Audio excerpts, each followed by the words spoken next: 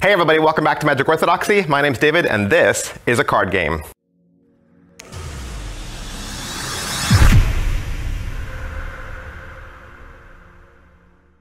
Hey, today we're going to expand a little bit more on Boss Monster. Uh, did a review for Boss Monster, the primary game. I mentioned a little bit of some of the expansions, things that were available to you to keep playing to make the gameplay even better. Uh, but I wanted to keep going, so there's more stuff, more expansion packs, more accessories, more items, more things that'll make your Boss Monster playtime even more Boss Monstery.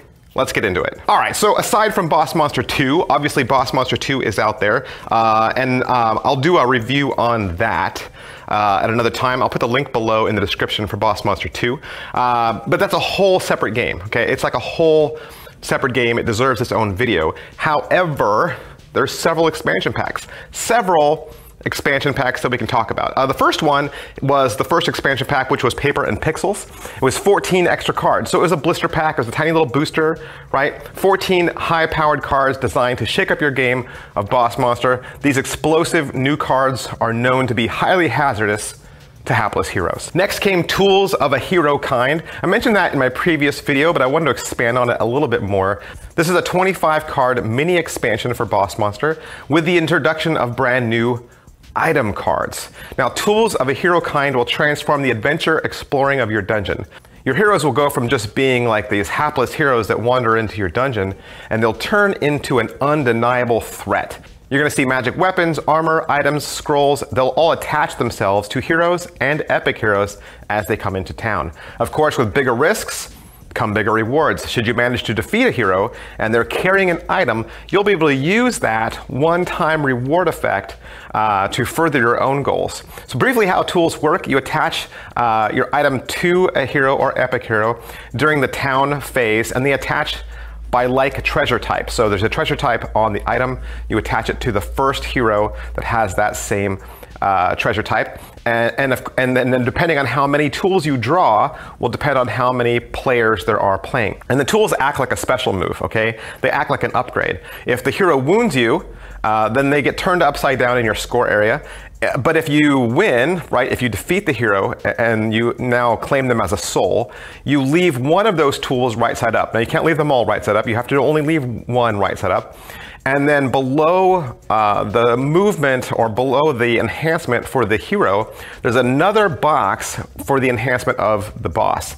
And this will act as a special move for your boss, and it's kind of similar to a spell card. So the next expansion pack was Crash Landing. This was an alien vessel that crash landed into the land of Arcadia, and it brings with it a whole bunch of new cards. And what this will do is it'll expand Boss Monster to five to six players and it introduces a new set of science fiction themed bosses, heroes, and spells, all wrapped around a new treasure type. The new treasure type is a laser gun, okay? And uh, as you play this, it's going to allow you to uh, just kind of upgrade everything. So not only are, are, you now at five or six players, but you also have a new treasure type. And here's the way I play Crash Landing, okay?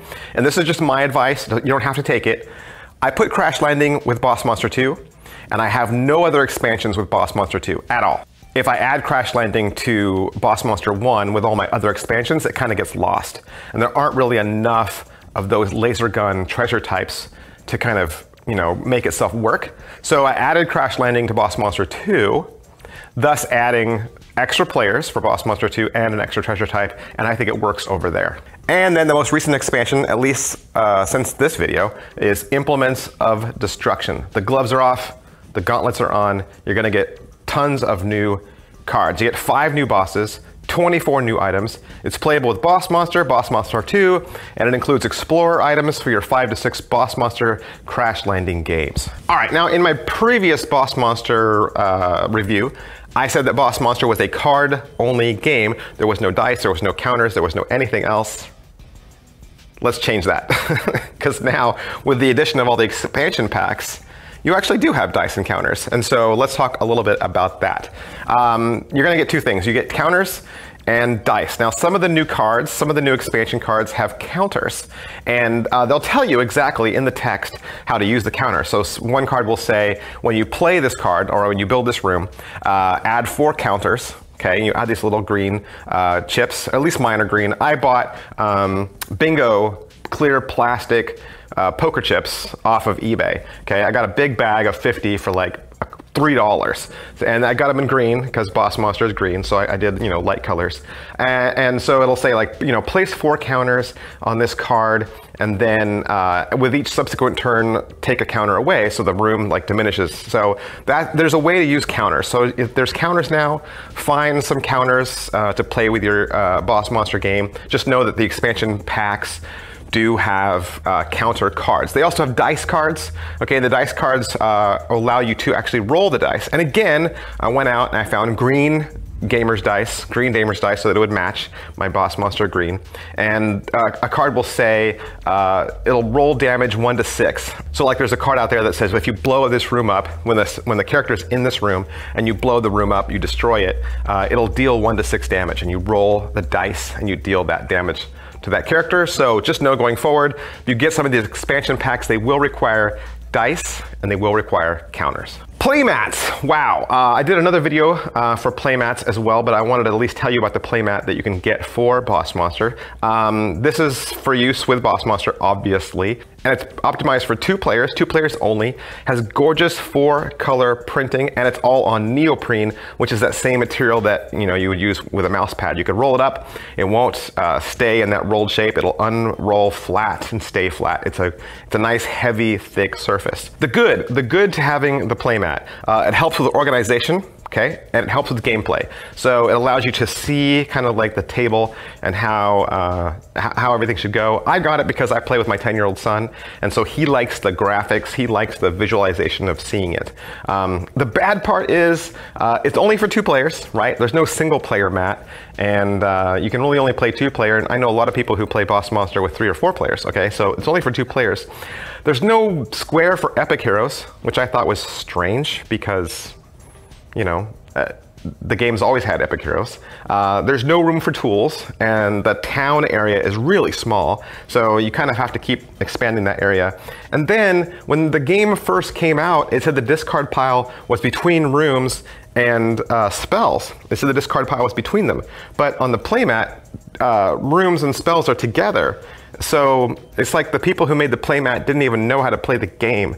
So yeah, and then lastly, there is the collector box. The collector box is a carrying case, and I was really looking forward to this because I started getting all the extra expansion packs and I wanted to, you know, put all my stuff together. Uh, the collector box holds 500 Boss Monster cards, and it'll hold them sleeved, okay? Whenever you sleeve your cards, it makes them a little bit bigger. Uh, I don't sleeve my cards. I just don't like the slipperiness, and I like to shuffle, and I, I, don't, I don't shuffle well with sleeves, so I don't play with sleeves. Uh, but you get this, and it holds everything. It'll also come with 11 new cards, so this is also an expansion pack. Uh, you're going to get 11 new cards, uh, and they're all centered around this Game Boy theme. So Game Boy was also popular back in the Pixel days. Uh, they're all that Game Boy wash green, and there's two cool things. So there's a new uh, boss. There's a new boss, Moby. He looks like a Game Boy. And then there's a new type of card called Portable Rooms. Now, portable Rooms um, allow you to play your card, put it down, but since it's portable, you can actually pick it back up and move it to another place. Uh, the other thing you're going to get with your carrying case is label dividers. So all your dividers will tell you, okay, these are tools, you know, these are epic heroes, these are heroes, blah, blah, blah. So um, the other thing it allows me to do is separate out all the cards that you would use for two or more players. So since I only play Boss Monster with two players, okay, I've never played a three player or up game. Um, I take all the cards that would be for three, four, five, six, right? I separate those out and I put those in another section so that I don't ever have to organize those cards in and out again. So that's nice that I can keep my cards together but separate them out with a wall divider. So the good part is it helps keep everything organized. Uh, it's inspired by all those like retro lunch boxes. The bad is it's way too big. It's way too big. There aren't enough cards to fill this up. And when the, the box is way too big, the cards fall down, right? They slide around, everything slides around. You can't really pick it up and carry it by the handle like it should be used because once you do that, then the cards will slide around. What I have to do is I have to pack my box with extra things just to keep the cards together. So I put all my expansion boxes in there. I put my rules on top And then I actually got like those one of those plastic bubbles that comes out of a packing box, and I put that in there to take up the extra space so that my cards don't shift around. But I still like it because it helps keep everything organized. All right, lots of new stuff, lots of great things with Boss Monster. Pick up those expansion packs, pick up that collector box, playmat, get into it, dice, counters, there's so much stuff. Uh, if you've got any questions about anything I talked about, please don't hesitate to comment below. Um, I do reply to comments, and that's one of the things that I like to do. People ask questions, let's answer those questions, right? Come on, why, why else do you have a YouTube channel if you're not gonna answer people's questions? Uh, so put those comments below, I'll answer, and I'll keep making these videos. Thank you for subscribing. I'll see you guys next time. Thanks. Bye.